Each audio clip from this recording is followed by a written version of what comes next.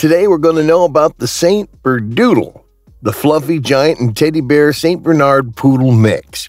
If you are a dog lover, please subscribe to our channel to get the latest videos. So let's jump on it. The St. Berdoodle is a mixed breed dog, a cross between the St. Bernard and the Poodle dog breeds. Friendly, intelligent, and loyal, St. Berdoodles are great family dogs. Ideally suited as a companion pet, this friendly and intelligent crossbreed can also be seen working as a therapy dog. What is a St. Berdoodle?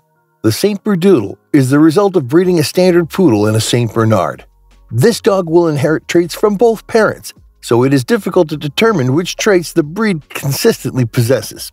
The breeder's goal was to breed dogs which inherit the gentle and affectionate St. Bernard nature as well as the intelligence of the poodle.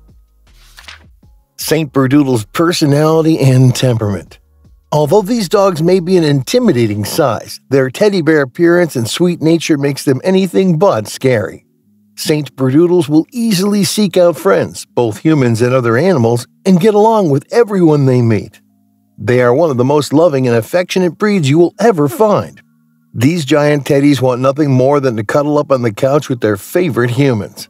With lots of love and attention, your St. Berdoodle will become loyal to you for life.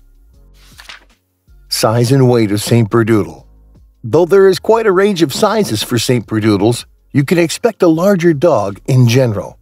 In terms of weight, the smallest you're likely to find a St. Berdoodle would be about 40 pounds. That would be the low side of a female standard poodle's weight range. A male would start at 50 pounds. In terms of height, the range is typically between 15 and 30 inches. St. Berdoodle General Health As with most hybrids, many of the serious health issues that plague the parent breeds can often bypass their offspring. New pet parents can never assume this will be the case, however, so should do their homework on any hybrid animal. For the St. Berdoodle, this can include hip dysplasia, ear infections, wobbler syndrome, bloat, skin problems, and Willebrand's diseases, which impact his blood's ability to clot. Grooming needs of St. Berpoo. Brush frequency will depend on the coat type, but a daily brush combined with a thorough weekly brush will be great to remove excess undercoat from a double-coated dog.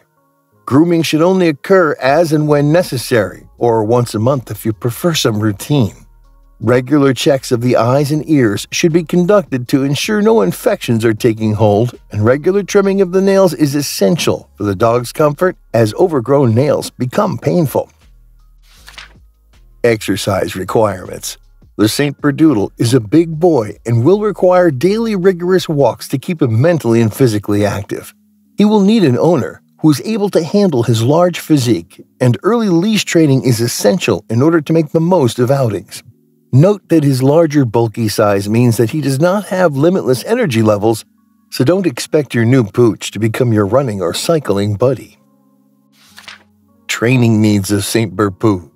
This is considered to be a highly intelligent pooch, so owners can expect their dog to be fairly easy to train. His eager to please personality and heavier size means he loves to perform any task requested of him. He will require early socialization and obedience training and requires a handler who can be a calm, consistent, yet dominant pack leader.